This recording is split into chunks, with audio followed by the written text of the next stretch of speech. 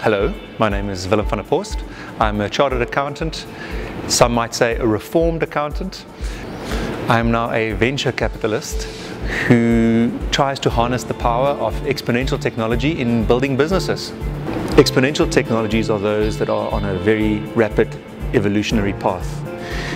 And because of that, these are the technologies that everyone refers to as disruptive forces. Typically, it's stuff like nanotechnology, digital biology, AI, machine learning, big data, Internet of Things, CRISPR-Cas9. In other words, those technologies that are reforming old school business models and the business landscape as a whole.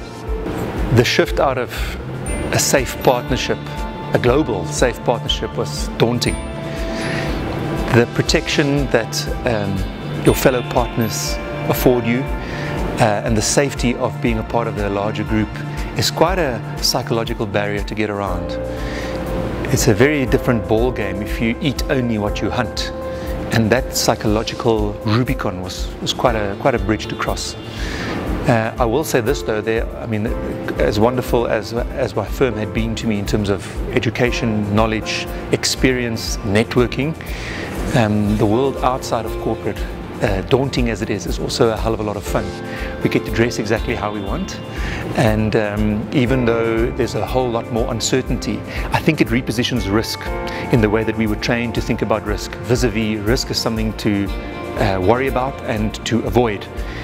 And whereas now I'm of the view that risk is something to seek out, and when appropriately managed, can be extremely lucrative and also fulfilling from a soul perspective.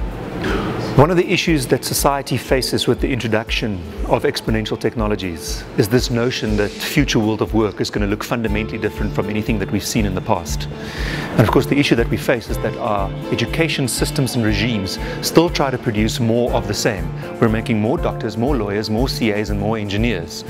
And even though we're all aware of the fact that this future of work is going to look fundamentally different, we seem to still supply more of the same of old school. So there's a disconnect. We're making more obsolete stock. And if the professions, CA included, are unable to mitigate and change relative to this new world, it's also going to be obsolete. So XTech Institute is one of the education assets inside of the broader XTech capital. And of course the name is easy, Exponential Technology Institute. And we aim predominantly at high school level kids where we immerse them into exponential technology experiences and reframe a mind frame. Because this is something that I don't see a lot of schools doing. As South Africans, unfortunately, we like to complain about societal issues rather than solving them. And XTech Institute teaches kids that looking at a societal issue through the lens of opportunity could be a great commercial endeavor. In other words, I can solve this problem whilst making a sustainable profit. I don't think the big corporates are going to go from 50,000 employees to 150,000, but we can make 50,000 new entrepreneurs who each create three or four or five or perhaps even more jobs in their own right. And I think that's how we lift this economy out of the slump, whilst at the same time serving society through these seemingly intractable problems being solved with the power of exponential technology. And that's what our school does. Someone has got to take a stab at it, and so we are.